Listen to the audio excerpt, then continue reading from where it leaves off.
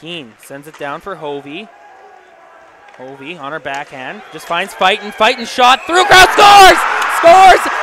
Caitlin Fyten sends a shot on goal. There was a mess in front, and that should, will do it for game one. 8.6 seconds to go in this first overtime.